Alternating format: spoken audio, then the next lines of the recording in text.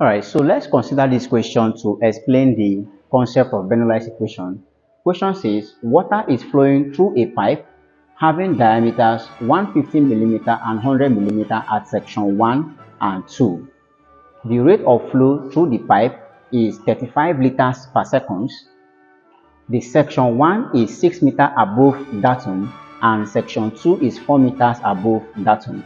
The pressure at 1 is 400 kilonewtons per meter square. Question says find the pressure at section 2. So you're given the condition, this is the pipe, okay. The first section has a diameter of 150 millimeters, so which means it has a larger portion than the second section. Whereas section 2 has a diameter of 100 millimeter. So you have this to be section 1 and you have this to be section 2. Alright, the diameters are given. D1 here D1 here is equal to 150 millimeters. So we convert this to meters. Converting 150 millimeter to meter divide by 1000, you're simply going to obtain 0.15 meters. So diameter 1 is given as 0.15 meters. Whereas diameter 2, D2 is given as 100 millimeters. Divide 100 millimeter by 1000 to convert it to meters.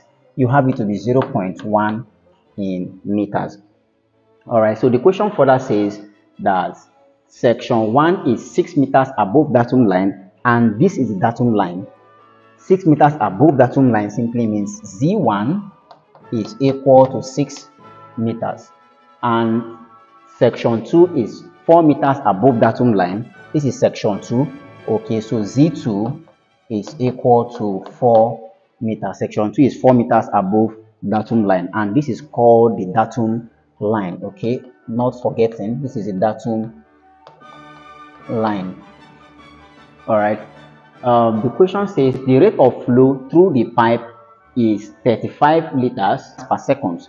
So flow rate or discharge flow rate slash discharge q is given as 35 liters per seconds. And of course we need to convert this to meter cube per second. Okay to, to, to do that flow rate q is equal to converting liters per second. You have 35 multiplied by 0 0.001 it becomes a meter cube per second. So this simply means that our discharge is equal to 35 multiplied 0 0.001 gives us 0 0.00 35 meter cube per second. So that becomes our discharge. Alright, so we are asked to find the pressure at section 2 given that the pressure at section 1 is 400 kilonewtons per meter cube. So P1 was given as 400 kilonewtons per meter cube. Okay, per meter square, sorry. Alright, so we have this to be the pressure at section 1. Now, to do this, we actually have to employ the Bernoulli's equation. So, using the Bernoulli's equation, using Bernoulli's equation,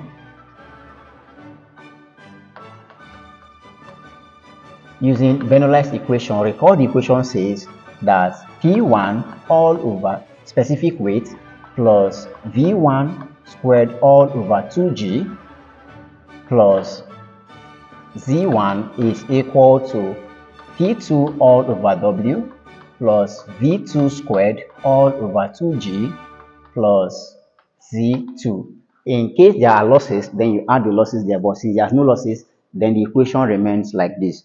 Now we know p1 we can find p1 all over w. Therefore p1 all over w is equal to remember p1 was given as 400 kilonewtons which is written here 400 kilonewtons per meter cube. That simply gives you 400 kilo is by 10 to the power of 3 all over. Now take note specific weight is density times gravity. So this is actually 400 by 10 to the power of 3 all over. Density is constant 1000 gravity is 9.81 so if you do this you're going to obtain 400 okay so from here 1000 cancels 1000 here so you have 400 divided 9.81 all right so if you do this you obtain 40.77 so that becomes the value of the pressure head. And it is measured in meters okay? So we have the pressure head down for stage 1 the next thing we need to do we know z1 and we know z2 all we need to do now is find their velocities okay so you find the velocities and then compute v1 squared over 2g compute v2 squared over 2g then fall back into the equation. But to find velocity recall that discharge okay please do well to look up my video on discharge and flow rate. I explained with examples how to solve for discharges and flow rates.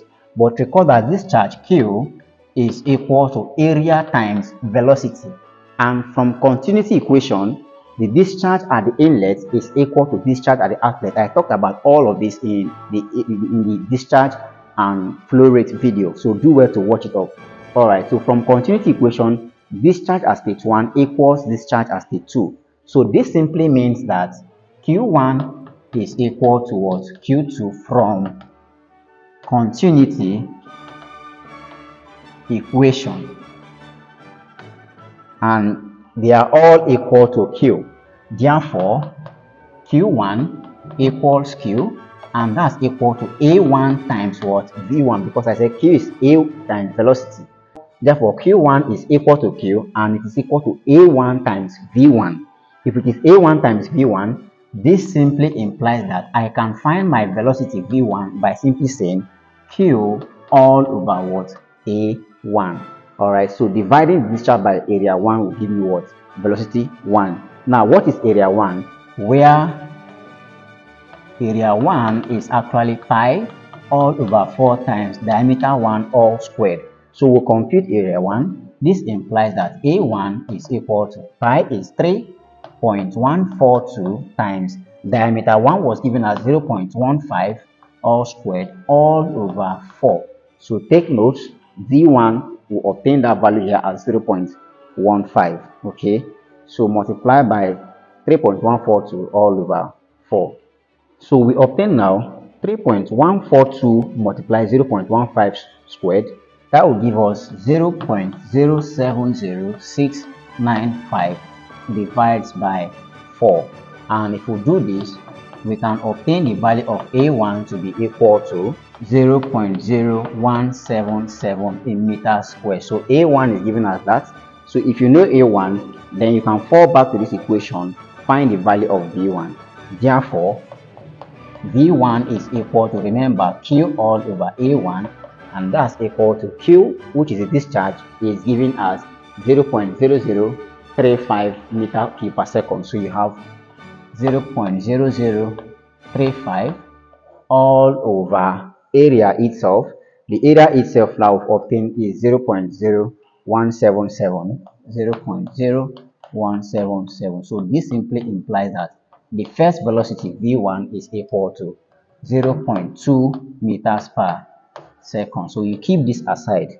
All right so 0.0035 divided 0.0177 gives us v1 as 0.2 meters per second approximately.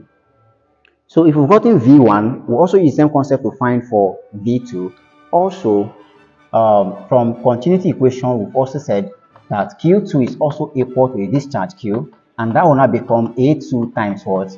V2 therefore you make v2 subject of the formula it becomes q all over a2 so all we need to do now is find a2 where a2 is actually pi times diameter 2 all squared all over 4 so this is equal to pi is 3.142 times diameter itself diameter at section 2 was given as 0.1 all squared all over 4 all right so a2 is now equal to so let's compute 3.142 multiply 0.1 squared that gives us 0.03142 all over 4 so if we divide this we are going to obtain our second area a2 so 0.03142 divided by 4 gives us 0.00785 in meter squared.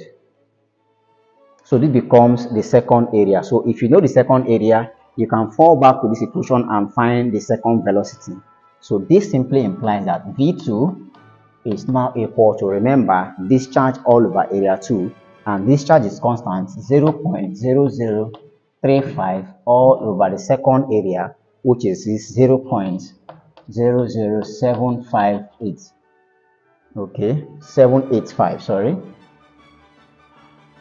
785 so this implies that v2 is equal to so you find 0 0.0035 divided 0 0.00785 that gives us 0 0.44 meters per second. So this becomes second velocity or velocity um, v2 0 0.44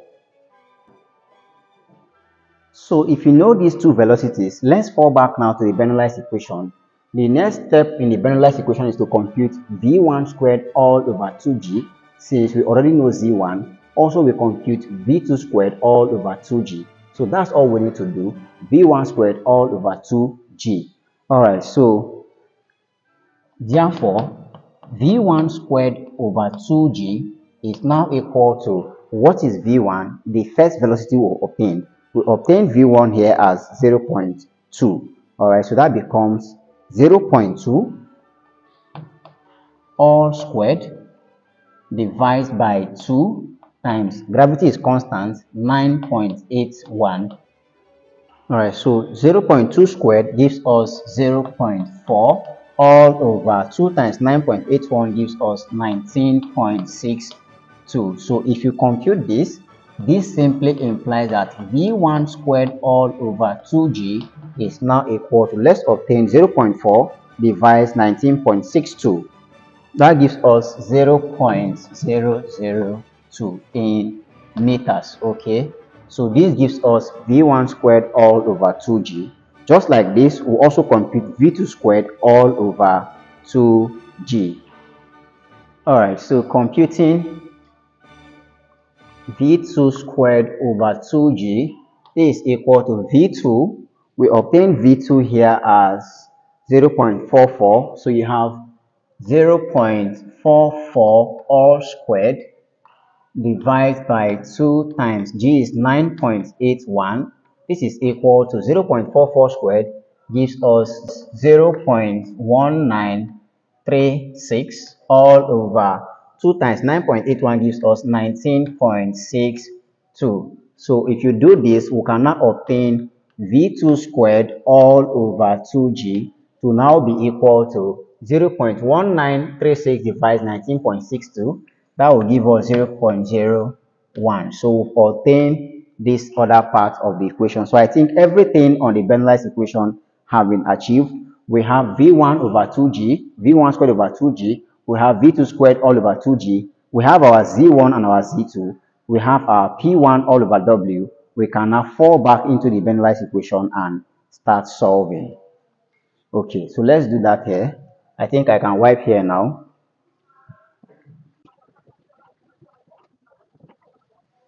All right so not forgetting v1 squared over 2g we obtain that value to be 0 0.002 so keep this aside as well. So let's fall back to the Bernoulli's equation now. We have p1 all over specific weight plus v1 squared all over 2g plus z1 to be equal to p2 all over specific weight plus v2 squared all over 2g plus z2. So let's put in these parameters into this equation.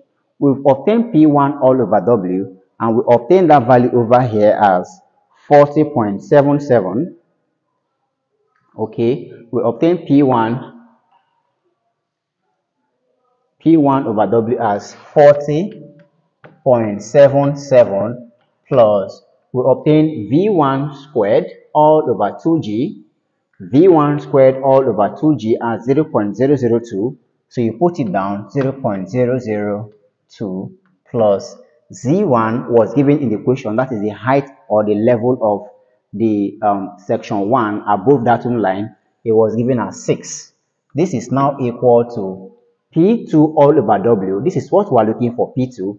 So you simply put it down P2 W itself, remember, is density times um, uh, gravity. which is now 1000 times 9.81 okay plus v2 squared all over 2g and we obtain v2 squared over 2g as 0.01 so you put that down 0.01 plus z2 is the height of section 2 above that one and it was given as 4 in the question. So we have this.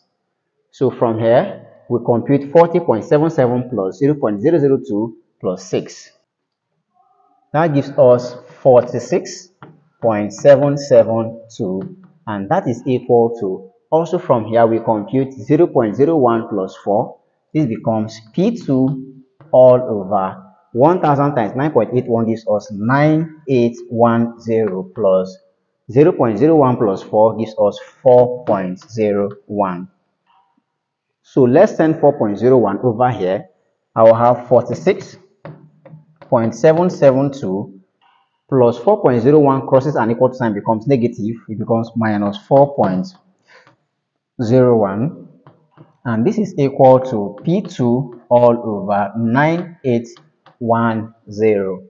So 46.772 minus 4.01 that gives us 42.762 which is now equal to P2 all over 9810. Therefore, to make P2, which is what the question is asking us to find the pressure at section 2, to make P2 subject of the formula, we simply cross multiply 9810 multiplies everything here. This now implies that P2 is equal to 42.762 multiplies 9810 and therefore the pressure at state 2 is now equal to 419495.22 Pascal. You can either leave it in this form or you convert it to kilopascal which implies that P2 is equal to okay 1 2 3 1 2 3 419.50 kilo Pascal. So this can also be your um, second pressure. So that's it on Bernoulli's equation. That's how to apply the Bernoulli's equation. In the next video, I'll do a couple of questions to also explain the concept of Bernoulli's equation. Till I see you in that video, do well to like, share, and comment on this video. And if you're new to the channel, also do well to tap the subscribe button. I will see you in the next video. Thanks and cheers.